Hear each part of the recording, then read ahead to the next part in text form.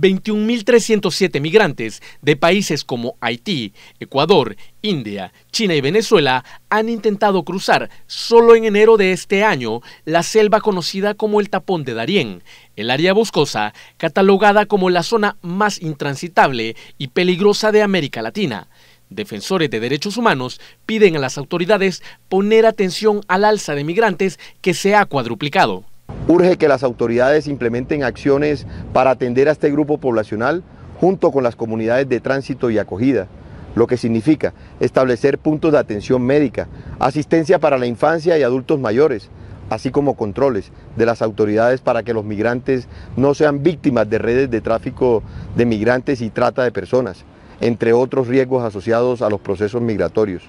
Agregan que también es necesaria una inspección a aquellos transportes que permiten iniciar la incursión a la selva, ya que son el inicio de una peligrosa travesía. Para que se intensifique la vigilancia y los controles sobre el estado mecánico y los permisos de los buses que están transportando a los migrantes y evitar situaciones como el accidente de un bus de transporte especial en el Cañón de la Llorona, entre los municipios de Dabeiba y Mutatá, en el departamento de Antioquia, que transportaba 38 personas migrantes. Solo en el año 2022, el número de migrantes rumbo hacia Estados Unidos se calcula que alcanzó los 460 mil, principalmente de Venezuela, Ecuador y Haití. Informó para Noticiero Hechos, Rommel Hernández.